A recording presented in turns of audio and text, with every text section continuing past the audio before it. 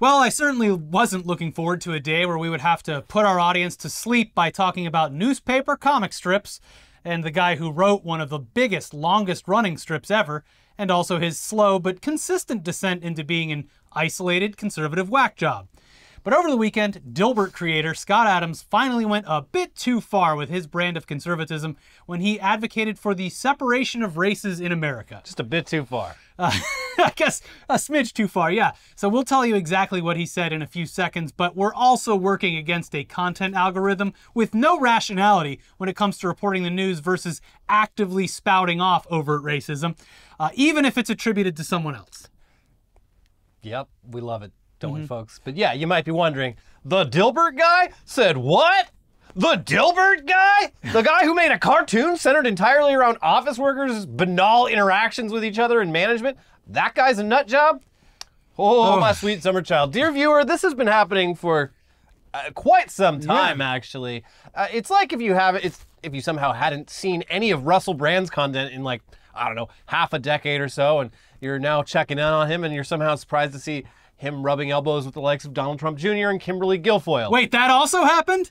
Yes. it was a gradual uh, sort of thing, and uh, yeah, it would seem pretty jarring if you were just tuning in. Yeah. all of a sudden. But yeah, Scott Adams has been pretty vocal about his descent into conservative hell for quite some time now, with the big shift in tone aligning with the rise of Donald Trump as a political figure. Adams went head over heels for Trump and has been parroting and, in a lot of cases, creating far right talking points ever since. Hell, three years ago, he said that the Dilbert TV show was canceled back in 1999 because he was white. Despite being quoted in the years after the show's cancellation, uh, saying that it was the result of low viewership and poor management. Nope. They canceled the show because it was too white. Also, yeah, it's like the poor management thing. It's like, okay, well, use that in the Dilbert comic. That's what you're good at, Yeah. talking about bad management. It's going to be great for the comic strip. It is especially weird. Like, Dilbert is a very like. You could almost, uh, you know, say like pro-labor uh, strip Yeah. in some ways. It could be interpreted that way. Clearly, that would be a subjective interpretation. But yeah. like, well, it also like it's, it's, it's, it was always it was always a comic strip about how like CEOs are fucking idiots. Yes. and like, it's just it's weird. just dealing with those on office interactions. But again, it's like this guy obviously, well, I don't know, but seems to be clearly a completely different person than the Scott Adams of the 1990s, or maybe that was always there and it just kind of got, uh, you know, ratcheted up a bit. I but believe this can all be uh, explained in large part uh, with the same reason that you can explain a lot of these sorts of things. Um, I believe Scott Adams has had multiple expensive divorces. Okay, well, that in might the, be it, in the past like decade or so. I think that probably uh, yeah. Well, as divorce energy. as of the time that we filmed this episode, there is still no word on whether or not his first foray into the food business, the Dilberito, Oh shit! was ultimately not successful for the same reasons. I mean, it probably was. what is this white man burrito? This fucking sucks. Why is Dilbert from the newspaper? Why is Dilbert from the newspaper trying to sell me a burrito? Yeah, he might have something there with this one. But uh, while looking into the Dilberito, which is a complete tangent, it was just interesting. We did find a few of the same trends consistent with his particular brand of victimhood. Most notably, that uh, he claimed a mysterious group was secretly out to get him. In the case of the Dilberito, which was a vitamin-packed meatless burrito, Oh, sounds woke to me. Adams claimed that, quote, rival food makers surreptitiously sent agents into stores to bury it on the back of shelves. Yeah, I'm sure that's that's what happened. Yeah, so politically, the dude has been all over the place. And at one point being head over heels for former President Bill Clinton, and then later describing himself as left of Bernie Sanders. It, it is a, a fact of life that uh, anytime someone says that they are to the left of Bernie Sanders, the next thing that's going to come out of their mouth is going to be some of the most like Yeah. reactionary fucking right wing shit you've ever heard. by the by left of Bernie Sanders, they mean all the way back around. Uh, so yes, the the hitching his wagon to Donald Trump was a decision that uh, he would go on to say hurt him both financially and personally, saying that his number of friends had decreased by seventy five percent. so he had uh, he had four friends and now he's got one. Maybe. Uh, he also claimed that uh, if Joe Biden won the 2020 election, that Republicans would be hunted for sport.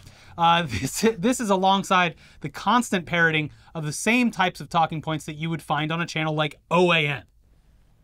Not UPN. That's the one that kicked him off the channel. yeah, UPN's the racist one. Uh-huh. So yeah, around the time Trump became president, Adams split his time between Dilbert and a new podcast venture where he was joined by a laundry list of right-wing pundits, COVID conspiracists, climate deniers, and even elected officials like Matt Gaetz, who also falls into All of all the categories. previous categories.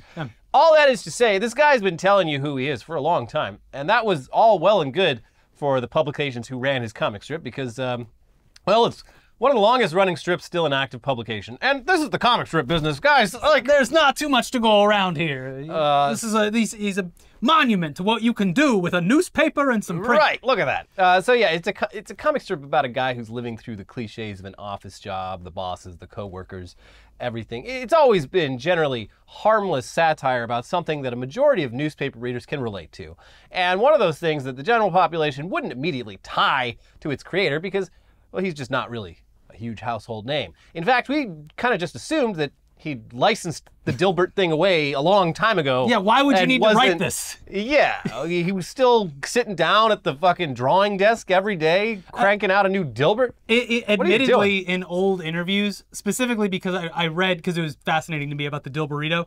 Uh, the, admittedly, in old interviews, just like, yeah, I don't know, I crank out these Dilbert things like first thing in the morning, and I have nothing to do with the rest of my day. Man, So he's also like the first. He was notable because he was like the first comic strip artist to like just get paid like crazy money.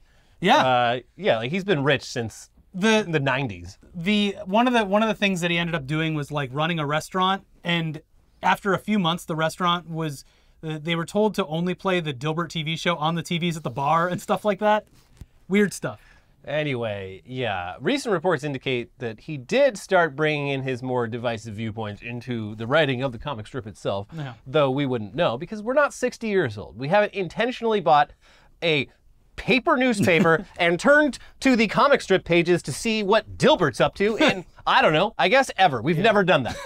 we did have a Dilbert uh, daily desk calendar at the That's old office. that's the one thing that, that I, I, I kind of about. enjoyed it. I was like, ah, ah good, uh, go. good one, Dilbert. You know what? Uh, what's Gary Larson up to? I Yeah. think he brought back Far Side a while ago, and as far as I know, Gary Larson not currently racist. Although I I don't know well, the good thing is those whether- cow tools. He never explained the cow tools, Whether or not he is or he isn't, he's keeping his mouth shut. Yeah. So, but he's still silent on those cow tools and how they're used. Cow tools. Anyways, I'm not sure how many people actually read his newspaper comics at all. I would just assume that he lived off of whatever money was coming in from those tiny little desk calendar things that everyone in every office seemed to have.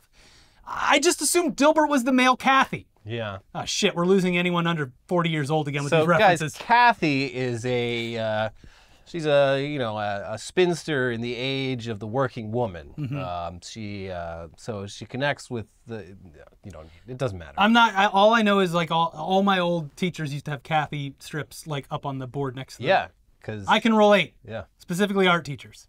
Oh yeah. But anyways, that long intro was just to give you the very unsurprising backstory of Scott Adams instead of just launching into this all of the sudden shocking story. And like we said, this is all probably pretty confusing and pointless to anyone under the age of 35 or so. That might even be a bit generous. Yeah, Dilbert? Scott Adams? Huh?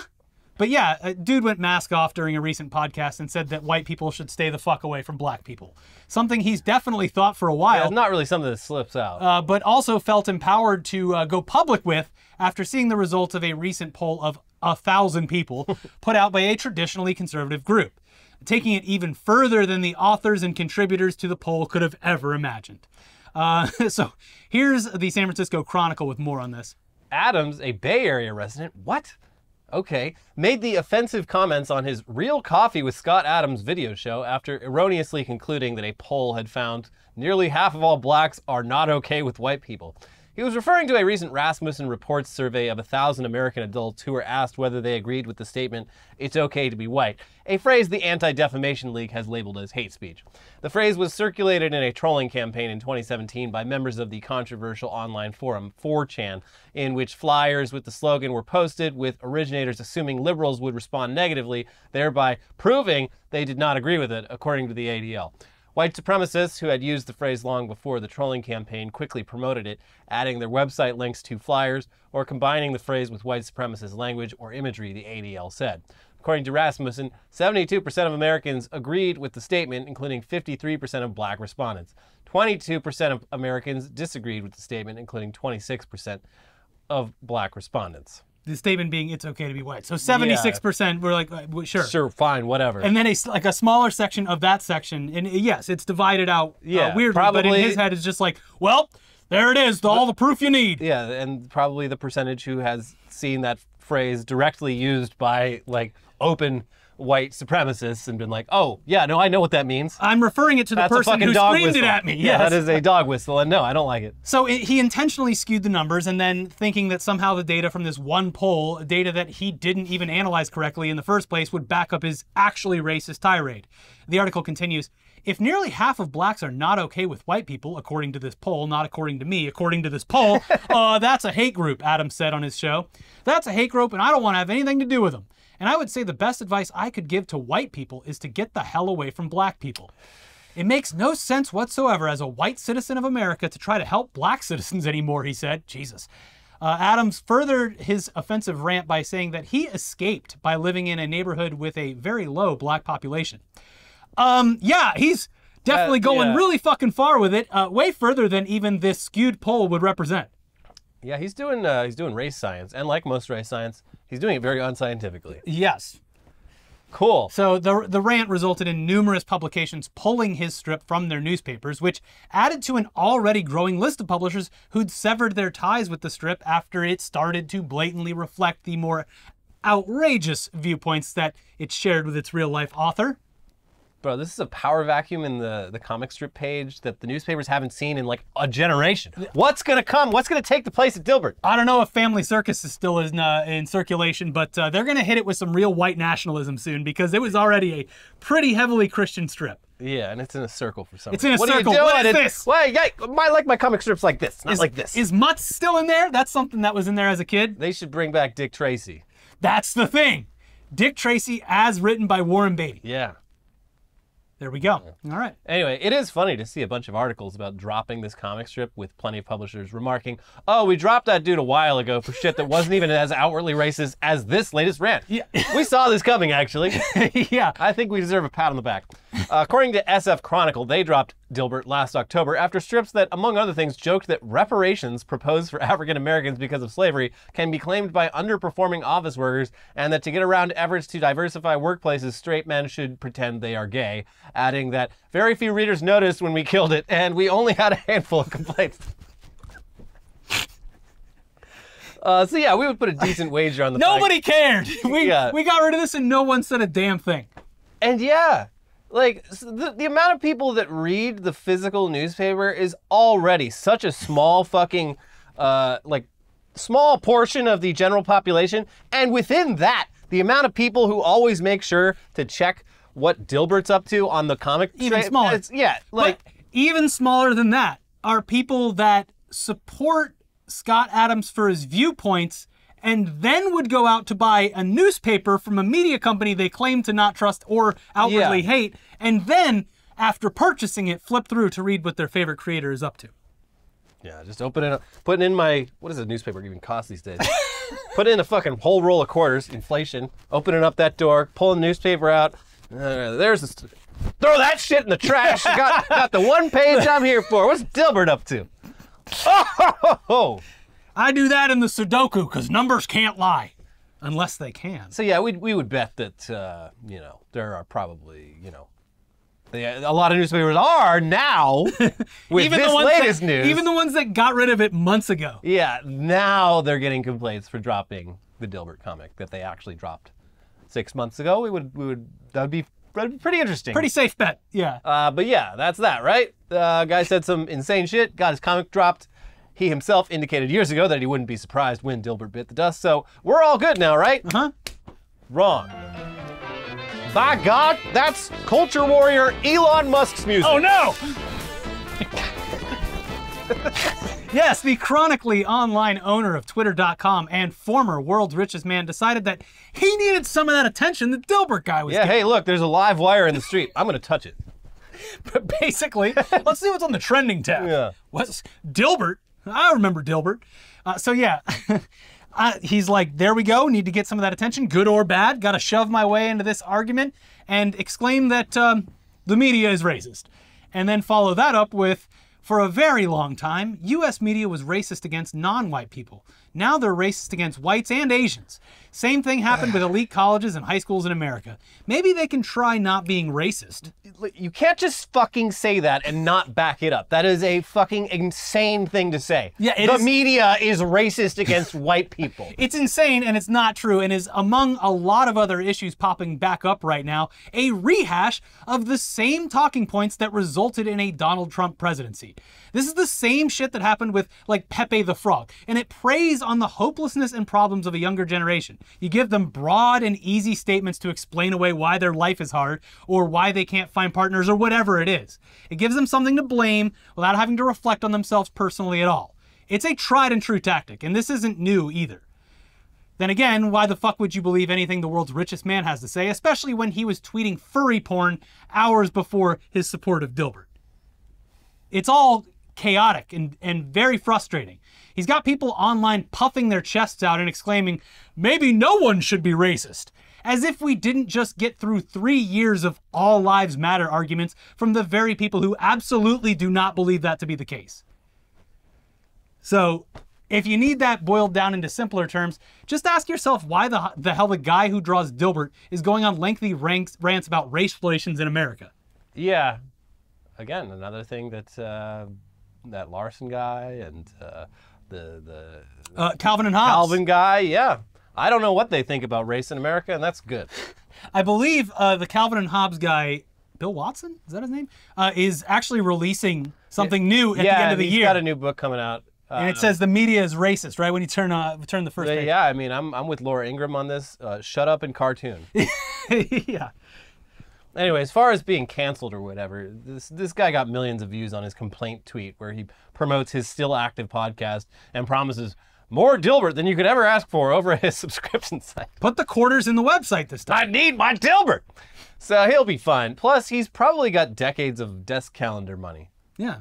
Those calendars, they They're everywhere. they'll never not sell. Mm-hmm. So let's pivot away from all that shit and throw in another wild story that has nothing to do with the United States so far. Mm-hmm. A new cryptid sighting just dropped, and this time it was confirmed by none other than the president of Mexico, Andres Manuel Lopez Obrador, AMLO, who posted a photo of an elusive elf-like creature based out of local folklore to his official government-verified Twitter account. The translated tweet from Mexico's president reads as follows. I share two photos of our supervision of the Mayan train works. One, taken by an engineer three days ago, apparently from an alux. Another by Diego Prieto of a splendid pre-Hispanic sculpture in Ekbalam. Everything is mystical. So an Alux is like, uh, it's a Mayan elf. Yeah, I guess Sort of creature? It's like a well, I'll describe it in a second, but it's about knee high. Okay. Uh, people don't like looking at it because it apparently causes mischief and stuff. And in some cases, they build tiny little homes for it so that it leaves them alone. Oh. Yeah, pretty cool though. Funny how like every culture in the world has like a folklore thing about tiny people. Yeah. What's up with that? And uh, here in America, they just get angry at women. Yeah. Yeah. Yeah. So I, I- it is, you know, it, it does look at the picture. If you look at the picture, it looks like some sort of witch or, Something's going on there. or evil elf or something up there in that tree. And since the president of the country tweeted it out, I mean, we should all take it very seriously. Well, he got jealous of uh, Joe Biden talking about UFOs all the time. Mexico's like, what do we got? What do we got? We got What do we elf. got? We got the elf, the Alux. Uh, so, first of all, the photo is a few years old. Uh, uh, no idea why the president of Mexico decided to tweet it out now. I mean, there there is a reason, but it's strange that he would make it seem as though this was a recent sighting. Uh, we assume that someone close to him found the photo and became he became obsessed with it. Like, look, people are going to want to see this. Yeah. Also, we love cryptids. They're fun to believe in, and it's generally harmless of a pastime to be involved in unless people try to start hunting what they think are cryptids and Yeah. actually harm a normal living creature that they've mistaken for a little wood elf, I guess. Just a little guy. That would be bad and also unsurprising. Don't do that. Anyways, the responses to the president have been a mixture of what? Or, sir, that's a raccoon with trash on its head. or any number of people who are convinced that their local woodland is now and has forever been filled with Mayan elf spirits. I mean, if Mayan elf spirits did exist, I would want to stay the hell away from them because they have a lot of pretty legitimate grievances Well- with uh, the, you know, the civilization that has grown uh, ar- around them. As you'll I'd come to find out in the end of this story, that's the opposite of what they are getting. They are getting more people in this area, Oh, and it's at the behest of uh, the president, who is using this as promotion for the tourism. to like southern Mexico. Leave that. Leave these people alone. they. ah, come on. Anyway, yeah, the photo is old, so it's not like this is a recent sighting. But here's the backstory about the Alux. Anyway, uh, we went to the most reliable sources we can find on this one: a local resort blog that pitches a potential Alux interaction through one of their various excursions. So it's legit for sure. Here's what they have to say about this creature. If you've ever adventured through the Mayan jungle and wondered what made the trees rustle, then you may have been in the midst of aluxes. Aluxes are small mythological creatures in the Yucatan Peninsula that are generally invisible but are able to assume physical form as resembling miniature, traditionally dressed Maya people. While they are usually invisible, they can choose to appear to humans when they feel like being playful or mischievous. Aluxes are said to protect many Mayan villages and areas that still exist to this day. Legends say if you build them a small house, they will look after your land for seven years. Interested in encountering aluxes? They usually dwell in forests, caves, grottos, or cenotes. Rumor has it that they can even be found at Tankah on our Mayan village and Tankah cenote signature tour. Cool. So yeah, this might just be uh, it might be marketing for a tourist train that he's building in order to build more or bring more tourism to the region. Yeah, It- that's it- uh, he's building a a train to take people to this region to explore. It is. It's yeah. So Mexico, uh, like especially the southern, southeastern parts, the jungle parts are like very cut off from the rest of the country, just like geographically. Mm-hmm. So yeah, that would make sense. No, he's actually he's doing it. The posts after this were uh, like a parade float that a bunch of kids made of his train, and they're dancing as the train. Hmm. I, I just can't imagine the Mayans' spirits being happy with it. Yeah, no, but yeah, the tweet, though odd, coming from someone that high up in government, uh, seems to be harmless fun at worst, and at best is uh, honoring local folklore Yeah. and uh, ginning up interest in uh, tourism. Why don't the we beautiful all Yucatan. take the train down to see the wonderful wood people, Yes. the wood elf people? Look, it's the ghosts of the people we massacred hundreds of years ago. Mm-hmm. Look at them go. But let's move over to that big Dominion lawsuit with Oh, an update thanks to recently unsealed court documents that indicate that Rupert Murdoch, the the founder, the head of Fox News, was well aware that hosts on his network were peddling conspiracy theories about the legitimacy of the 2020 election. With more on these newly unsealed transcripts, here's Reuters. Fox Corp chairman Rupert Murdoch acknowledged under oath that some Fox hosts endorsed the notion that the 2020 U.S. presidential election was stolen, according to a court filing unsealed Monday. Documents in the case in Delaware State Court show Murdoch and other Fox executives believed Joe Biden fairly beat Donald Trump and that the results were not in doubt. The reporting continues. Asked by a Dominion lawyer if some of Fox's commentators had endorsed the idea that the 2020 election was stolen, Murdoch responded, yes, they endorsed, according to the filing. When questioned, Murdoch said some of Fox's commentators were endorsing the narrative of a stolen election, including maybe Lou Dobbs and maybe Maria Bartiromo. Murdoch's testimony and other material in the filing shed light on Fox's internal deliberations as it covered the election rigging claims and sought to avoid losing viewers to far right competitors that embraced Trump's false narrative. Murdoch testified that he believed early on that everything was on the up and up with the election and that he doubted claims of election fraud from the very beginning. Asked by a Dominion lawyer if he could have prevented Trump's lawyer, Rudy Giuliani, from continuing to spread falsehoods about the election on air, Murdoch responded, I could have, but I didn't, according to Dominion's filing. And yeah, there's been uh, a lot of interesting text messages, like uh, Fox hosts being like, "This Ru- Rudy's really lost it. Rudy's off the deep end. I think he's drinking again." Yeah, there was one that indicated that uh, Sean Hannity was scared of Yeah. Trump and his followers. yeah.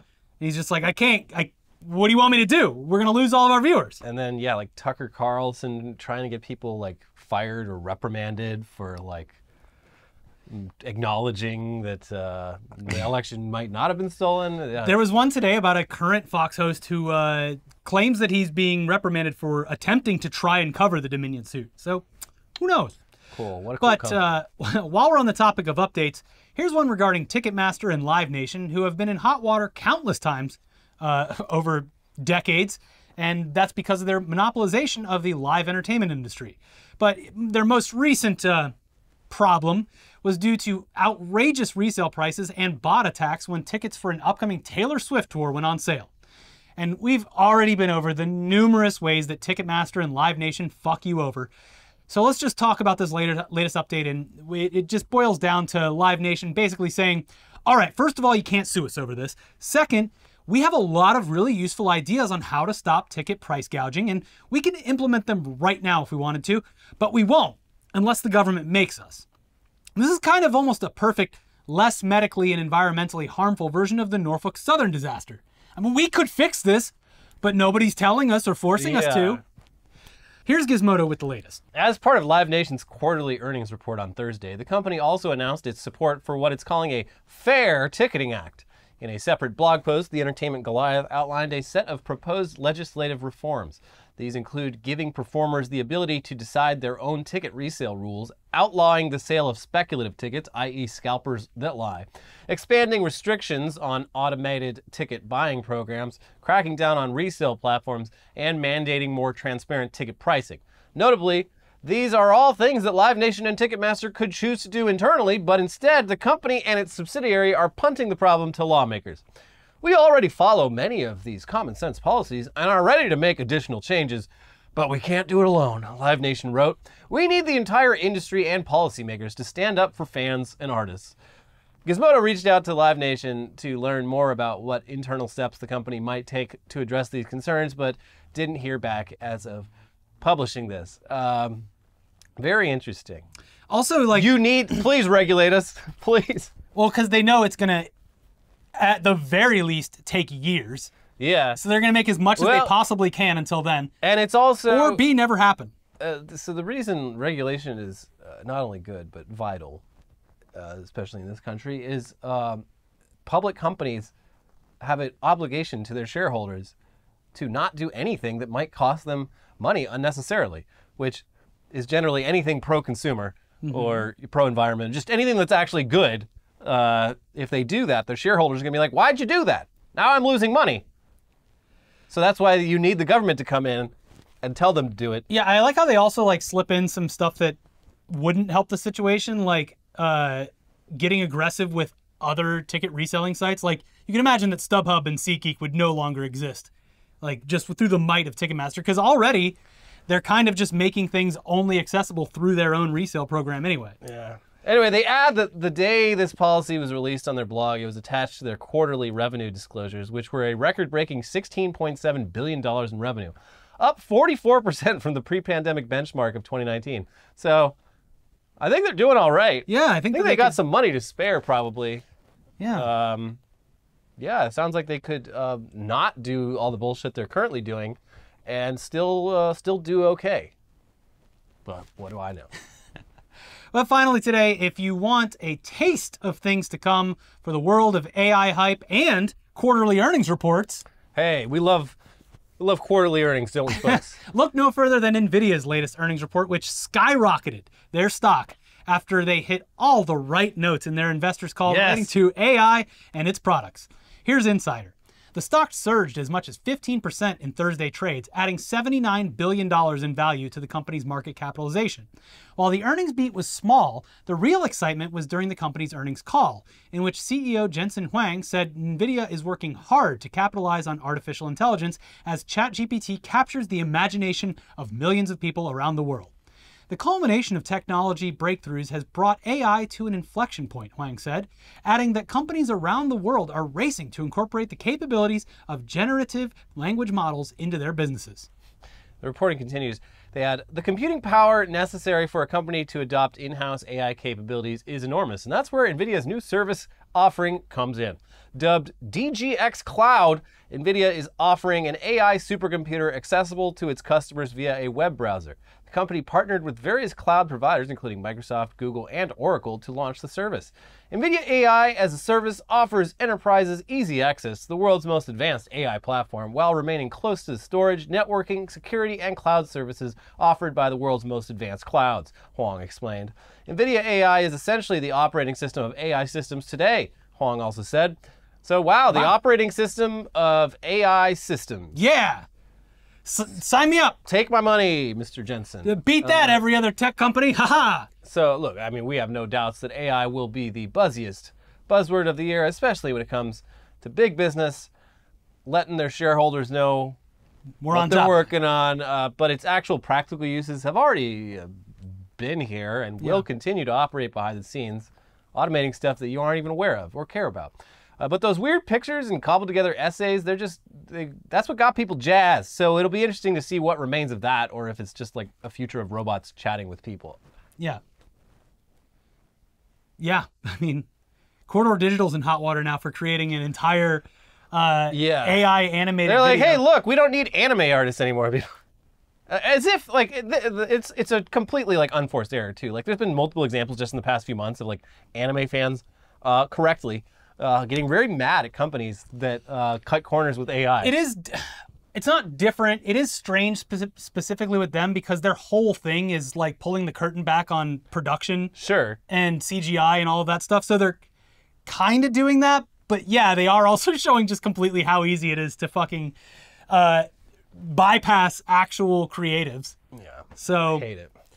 anyways, uh, we, if you love AI news, get ready because that's all that's happening for the foreseeable future in this world, at least until next year when there's going to be a hot new buzzword that takes the industry by storm once again. Yeah. But we will definitely, I'm sure, have more AI news in the very next episode of this show because it is Tech News Day coming up. But in the meantime, we have plenty more for you to watch. And hey, this look, this episode it wasn't sponsored, which means you if you want to support the show, you can do so very easily by hitting the thank button or becoming a member of the channel by clicking the join button. There's a Patreon link down there too if you're nasty. Uh, if you consume hours of our episodes every month, why not give us five bucks? There's even a little verified emoji that lets everyone know that you're just as special as that guy on Twitter. Yeah. So, uh, of course, just leaving a like or a comment is more than enough to make us happy. So leave a like and a comment, damn it. Please. All right, now there's the videos on screen for you to watch. We've got Evil Cookie Monster. We've got Trump throwing water bottles. Check those bad boys out and stay tuned for another episode coming soon. Bye. Bye.